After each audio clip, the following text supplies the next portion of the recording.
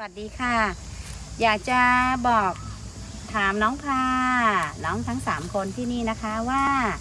หนูรู้สึกอย่างไรและสาเหตุอะไรหนูจึงมาอยู่ที่นี่คะลูก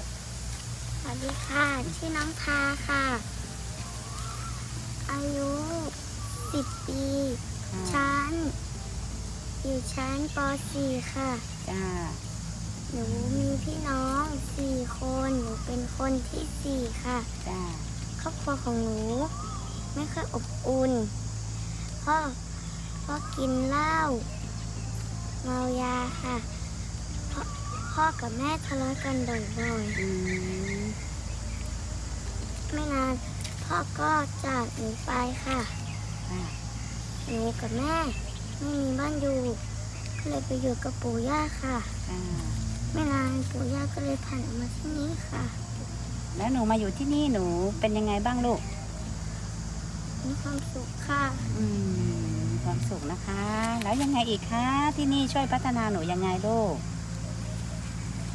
ให้อยู่ที่นี่สนุกมีความรักอืม